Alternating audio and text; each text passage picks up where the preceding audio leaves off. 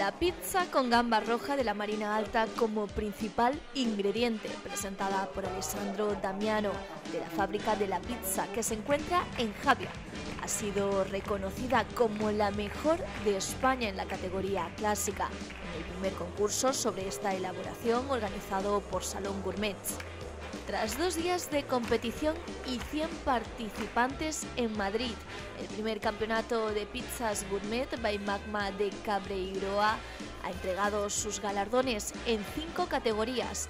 Además de Damiano en la clásica, José Manuel Vallejo de Limon Food en Granada ha ganado en la categoría de sin gluten Daniel Conte de Sorsi e Morsi en Valencia se ha hecho con el título de la categoría de pala.